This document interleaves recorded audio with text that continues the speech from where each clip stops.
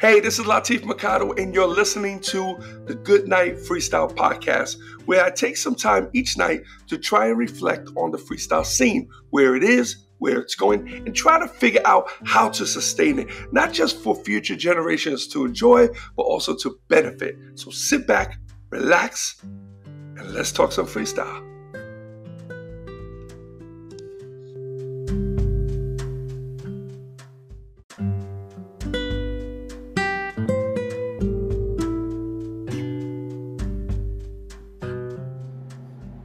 Hey, what's up, everyone? It's Latif, and welcome to the Good Night Freestyle Podcast. And this is episode 41.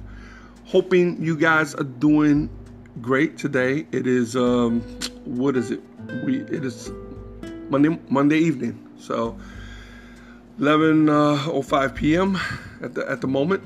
You'll probably be listening to this around midnight. Uh, what to, today? Well, today, um, took care of flights. Try to, um, secured all our travel and accommodations for the next couple of shows. Um, got a bunch of things going on here in the office. Uh, just switched over my t-shirt store. I got some really cool freestyle um, uh, t-shirts, guys. If you ever want to check them out, um, I just took the store down um, because I got a new one, and uh, I got about I got a bunch of designs, probably about 200 designs. Uh, pretty dope. So uh, I try to make them look as cool as possible. So like if you guys want to wear this stuff in a club or you want to go out, uh, I don't want it to look like it's advertisement or anything. So uh, they're pretty cool. I have about 200, um, about 200 designs. I'm not going to keep up all 200. I'm going to be rotating them, and the ones that are doing well, I'm going to hold on to. The ones that are not, I'm going to totally delete. I don't need to have uh, all that stuff on the store. I want to keep it nice and streamlined. I want to make sure it's the best of the best. So, uh, but we got some pretty cool stuff, man. You need to check it out. I'm doing top of the line t-shirts, the Bella Canvas, which the 3001s, which are like uh, one of the best sellers out there right now. I'm, I'm doing uh, some hoodies, just really just the t-shirts. Um, for the men and the women. I like t-shirts. I'm a big t-shirt fan. I think t-shirts are cool for everyone not trying to, to get too fancy. Uh, like I said, I have a couple of uh, hoodies, but I think I'm not going to do too many of those. Um, I have a really cool um, all around, uh, or all it's called all over T-shirt, where I have my graphics all over. It's on the back, the front, the sleeves. It's pretty dope. So if you guys don't don't know, I have a, a clothing line that I created as a spring off of my label from back in the days. It's called Style Free. Um, I ran it as uh, like a t-shirt um, um, store for quite a while online. Um, but I didn't really put that much emphasis on that. it. Really didn't put that much uh, that much push to it. Um, I'm glad I didn't either because I have a, like a new setup. Uh, they're making it a lot more easier right now. Uh, the payment setups are good with the credit cards, and it's it's it's working and it, it's fine. Like all the bugs are gone. So I'm kind of glad I didn't really push it because the the few that I did push, I was experiencing some problems. Uh, but now they're pretty much they're good. Uh, people who have been on my mailing list have been receiving um, advertisement of the T-shirt line. So I haven't been posting that regularly, but I will. I'm gonna start. So I do I recommend you guys to pick it up. Um, what I'm doing with the t-shirts is they're gonna have in the back an outside label uh, called Stylin' Free. So we're gonna be pushing that brand. I've, like I said, I've had that brand from before I had La' Entertainment, so it's been around for a very long time. Uh, so be on the lookout for the Stylin' Free brand. Um, those tees, okay. Um, what else we got going on? Um, shout out to 808 Beats. Um, uh, these are the people who have the wine. Uh, it's a, basically uh, right now it's a red wine out of California. Um, the cool thing about this wine is uh, me and Angel are part of. We're a part of it. So um, you'll see her actually on the label. So you might want to check it out. 808 Beats. I'll be promoting uh, the website real soon. So be on the lookout for that. Uh, that's going to be really cool. Um, those that wine is being made in California, uh, right where the wines are made. So uh, be on the lookout. It's gonna making a little noise with that. I think it's gonna be really cool. We got a few uh, other items that we're working on right along those lines. Um, what else we have going on? I have an online course too that I'm working on. I've actually finished it. Uh, I just kind of had to side sidetrack and do a few other things, um, but it's based off my third book, Freestyle Promotions, and the seven simple steps to getting started. If you guys have any desire whatsoever to learn uh, the ins and outs of being a freestyle club or concert promoter, you might want to really check this out. Whether you got the book or you didn't get the book yet, um, I have several promoters who have gotten the book, and that helped them get their start. It was cool. It's just enough information to kind of get you going, uh, but not so much that's gonna, you know, slow you down. So it's really cool. So you might want to check that out once I start promoting the course. You'll see it. You'll see it if you're following me in any way. Um, but it's it's it's really cool. I mean, this course uh, will kind of right, like you know put you right on the track. It'll teach everything you need to know, and then it kind of help you use your own uh, judgment. You know, because that's what the key is. The key is, and you know, it's not all structure.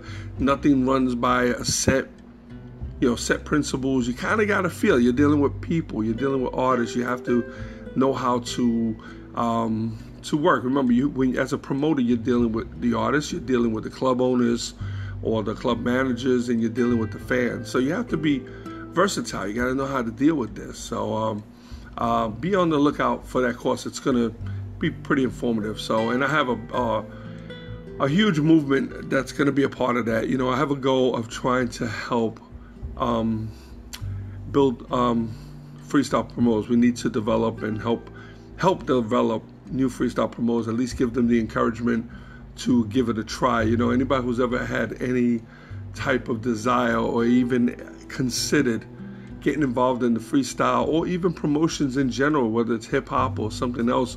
Uh, but I, you know, I specialize in freestyle. I know the the the, the exact potential. Um, you can look at, at hip hop as, oh yeah, but you know. Uh, we could probably do a lot better with doing promoting hip hop. Yeah, but you're also paying a hell of a lot more money for the artists, for the venues, for the insurance, and it's gonna take a lot more for you to promote because you got a lot more competition. But when we're dealing with freestyle, man, we can pretty much streamline it. We can go right to our audience, um, and you can really do well. And now the promoters that I've been around, I've seen them make a killing. So I know the potential that's here. You don't you don't have to play in the big ocean. You can play in a lake and get and just kill it because your competition is very low. So, um, so I will be showing you guys uh, some of that, some of those techniques, and you know, basically just the, the um, uh, you know, the thought process on you know how to how to move forward and how to how to be successful, man, or at least, you know, I mean, we're always striving for success. As an agent myself and also manager of artists, um, I need promoters, as many as we possibly can. We all do. Because when you only have a few promoters, yet you have a 100 artists, it's like everybody has to wait online, and it's crazy, you know? So, um, even the top of the top of the artists, man, are not going to kill it the way they should be killing it uh, because there's limited resources. There are limited amount of promoters that are out there. So uh, we're going to try to see what we can do to help, you know, so you, to change that. So if you have any kind of desire or ever had any kind of desire or even considered um, getting into the freestyle promotions game, you might want to check this out. Okay, and I got you guys, man. Like I'm not, I'm not gonna teach you this, this stuff and disappear. I'm gonna, I want to be there. I want to kind of have be hands on and try to see what I can you know, just kind of really help build this community. I just think we have so much, so much potential, and um, uh, a lot of us, you know, I, I turned 53 in October, so I'm an average age for the freestyle genre, whether it's the artists or the fans. Um, so you have a lot of fans who were, I mentioned this before, who might be, um, you know, military or police or fire department or whatever, and a lot of them are they got to retire pretty early, and right now, now they kind of kicking back. They like doing nothing for for a while, but like it seems like the more I speak to uh, these these people, they're now looking for something else to do. They got money, they want to kind of put their money somewhere, they want to generate more money, and they want to have a good old time, you know. so, if you're a, um, a retired, if you're retired and you just have the time on your hands, yeah, you might want to really check this out, man. You might, it might just open up a whole new chapter of your life and uh, and just kind of you know blow some excitement you know, back in. So, but uh, and uh, you guys will be the best because you're fans. You see, I'm actually right now a lot of the the freestyle promoters that are out there are doing this strictly for the dollars. They're not really fans of the music. They're doing well by the artists. Don't get me wrong. This is not a put down, but they're not really fans. They don't know everyone. They can't tell you the songs.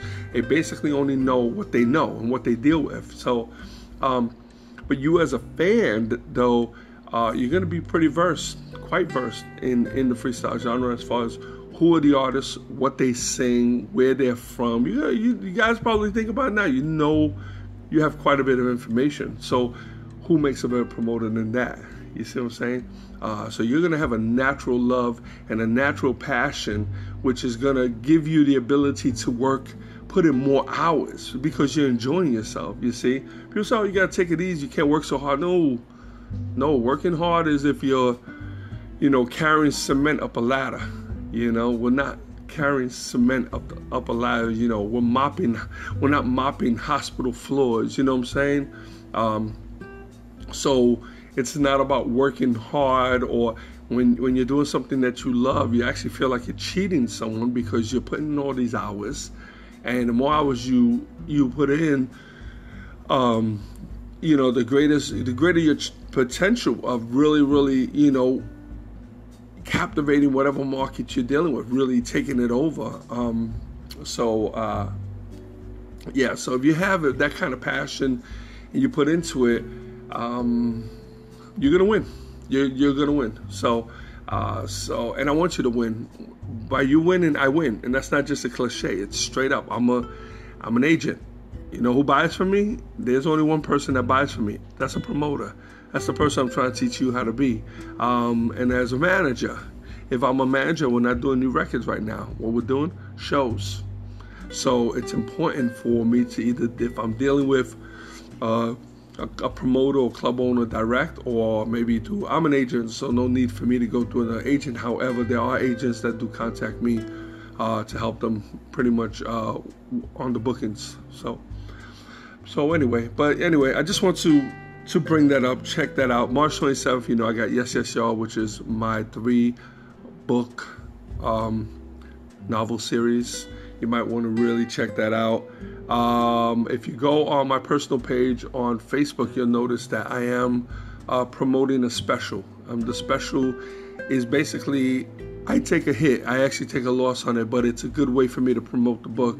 Um, you can actually get all three books for the price of two, so that's one off. Um, one of the books you get for free, basically. Um, and I'm doing an end for the first 25 books. Um, when I send them in, I'll send them with a signature. Now, that's almost capped. So anybody who still wants those, um, you know, come on in.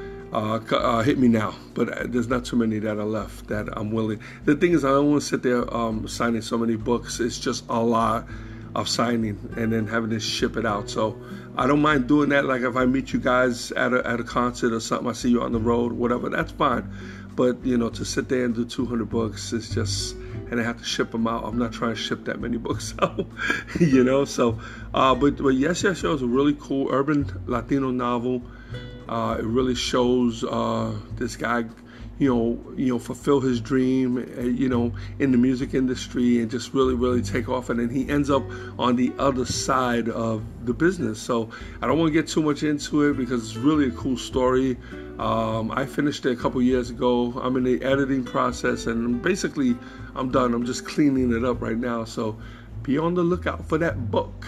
Uh, uh, some of my other books was uh, Freestyle for Life. If you guys are in freestyle, you love it, and you have music, and you buy music, and, and you don't have this book, mm, there's something wrong.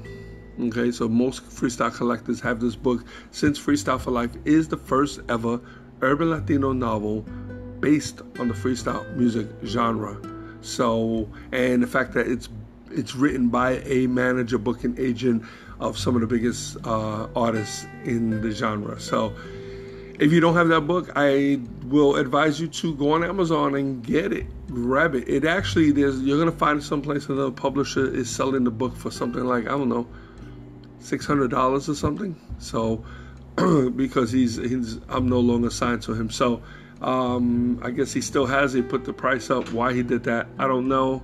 I don't know. It doesn't matter. But you could, if if you couldn't find the regular price, that's different. But you'll find it. So the original price for the book is fourteen ninety five. So please don't pay six hundred dollars for it. Okay. I'm first of all, I'm not getting any of that money. So I don't think I am. Am I? I don't know. I don't think so. I'm not signed with him. That might be some leftover books that he has. Who knows?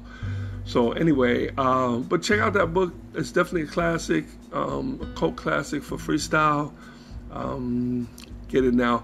Uh, the other book, the second book I put out was a book called Freestyle, and if you look on the cover of that book, you'll see our revi- our our very own Lil' Suzy. So so she plays she plays in the book. I have her as the image, as the cover model for as Layla Storm, which is the vampire that the book is based on. So uh, what it's about, well a freestyle artist just happens to be a vampire. How's that? Hmm. Uh, so it's it's really really cool. Um, I had to I learned so much about that whole universe, the vampire universe, when I um, when I wrote, wrote it. I didn't realize that the rules are so strict, and there's a community that will basically rip you apart if you violate it um, I learned so much from it. It's incredibly fascinating. It's almost like these vampires are, you know, are for real. Well, I don't know. Maybe, maybe they are. I don't know. I haven't seen one yet, so I don't want to. I'm not trying to see one. Um, but uh, uh, the book is really cool. Um, I always wanted to do like a horror, kind of supernatural and I remember sitting down one day and I just had this crazy idea for a story and it just started to develop in my head. And sometimes I basically, I nearly write the entire book in my head, you know, before I lay it on paper. Um, but, you know, a lot of the stories run parallel between me and Lil' Suzy since I have been on the road with her for so many years. So, not really, I don't know any of this. Well, yeah, maybe a couple of the little situations. So, uh, I don't want to get into that because it'll be a spoiler, and I don't want to spoil anything. But you might want to check out that book. You you might really uh, you might really dig it. I thought it was incredible. I was really excited, and I was pretty um, impressed that I had pulled it off. And um, I stayed within the rules. I got a, a seal of approval from several people, and um, that book you won't see me promote it, even though it's always going to be on Amazon. You don't really see me promote it because I only promote it. I promote it in the month of October. So, which is, of course, the month of uh, Halloween. So, I do that for a couple of reasons. Uh, I just want it to be that kind of book, you know, almost like when you um, you can't uh, you can't watch um, what is it uh, Happy uh, Merry Christmas, Charlie Brown, right? You can't watch that no other time on TV. They don't run it, but you will catch it on Christmas. And I don't know, they, they play it once or twice, maybe only once. Extremely limited, and I just think it adds something to that. So, um, the book now, maybe at some point, I make I might make the book unavailable um, during the rest of the year. Have it only available in the month of October. Now that might be interesting, you know, but we'll see. I'll, I'll, think about that because it's not about that. I can't do it. I can actually do that. Um, but is it a good idea? You know, like why would I want to take the book off the market? You know, so uh, I think that just kind of stops other people from uh, getting the opportunity to to get to grab it, man. It's a legacy. It's a it's a legendary book at this point. It's another uh, cult classic or about to be, you know. Um, so, but you definitely want to check that book out. Uh, I think you guys were really, I dug it, man. I, dug, I, did, I did some really cool stuff, man. I, I, did some crazy ass shit. If you have the mentality to kind of the, like the imagination, uh, to kind of, when you read that, to really bring it, I, I think I did a pretty good job. I think I did a really good job. So um, I remember after writing it, I thought about that book. That that was scaring me, but I just, it just got stuck in my head. You know, I thought about the characters I thought about the circumstances of the characters, and uh, uh, and I, I was was really cool, man, really cool. So, and then of course March 27th. Yes, yes, y'all. Make sure you uh, you can order it as a Kindle now, um, but it's expensive as a Kindle, so like nine dollars. Um, sold. We we get some sales. I'm not really pushing it. It's I have it high for a reason uh, because I'm really waiting for people to. But that was the only way for me to generate pre-sale interest was to bring put the put on the Kindle, kind of put the price up. I didn't expect people to purchase, but they did. Um, and what happens is, as soon as the book gets released, they're like the first ones to get it. They'll have it. But but what I am doing is I'm doing a special. Go on my Facebook page, see what that is. Uh, you look up on the top, you'll be able to um, see I'm advertising it, you know. And if you have any questions, message me on Facebook is always good. I'm everywhere, but Facebook stays open not just for me to browse, which I do. I'm not gonna front, uh, but a lot of my promoters reach out to me uh, through Messenger. Uh, that's like it's either gonna be uh, email or Messenger, and a lot of times it's Messenger because I always keep uh, Facebook open on my computer. It'll, the screen will be minimized but it's but it'll be open, so it, you can always tell. It looks like I'm always online. I'm on, always on Facebook, so I, I, am, but I'm not. You know, so I am. It's open on my computer, but I'm not always on it like that. So I try to take breaks and try to get in between and see what's happening. But anyway, sorry I spent this entire podcast basically pitching you. Um, it wasn't really a pitch. It was more to make you guys aware that um, we have more than just freestyle music or freestyle shows. There's other things that we're working on, and I want you to maybe you have your own ideas or uh, maybe there's something that you can do that can kind of cross paths with freestyle. I mean, let me know. I really like to know what that is and see maybe there's something I can do, you know, uh, to help out. Um, I'm not trying to be a part of everything, but I, I would love to see um, other businesses grow within under our umbrella as far as the freestyle umbrella. So you go out there, come up with different ideas, and and pitch them. You know, listen, everybody has ideas, so never be scared to show your ideas. Everybody has ideas. Then once you put out the idea, uh, just be one of the first to move it, move on it. You know. So I noticed that a lot. A lot of people have ideas. We can sit down and we can throw throw throw out some of the best ideas you ever heard, and we get a little small group of people. But guess what? Nobody's gonna um, execute them. No one's gonna initiate uh, the process. So guess what happens to that idea? It dies with the person who came up with it. So um, uh, yeah, so that's the whole thing. I just want to make people aware that we do have these things. Uh, things like the wine are not mine, but we are, uh, well, not mine, but we're partners. So um, I am a part of that venture, and it's my benefit. It's a benefit to me for it to succeed. Okay, not to mention Angel is on the label, so check that out. Another great collector's item. Even if you don't drink wine, you might want to get a bottle. Um, I'm getting a few shipped to me. Um, I don't drink them. Angel's probably gonna drink one. Uh, the rest are going to be put away. so, um, in my office, actually, you'll see it on the shelf. So, anyway, uh, guys, thanks again. I appreciate you. Hope you enjoyed this podcast. I hope you've been enjoying all of them. Um, we are headed to this is uh, episode 42. Um, cool. I'm feeling comfortable. And until tomorrow, good night, freestyle.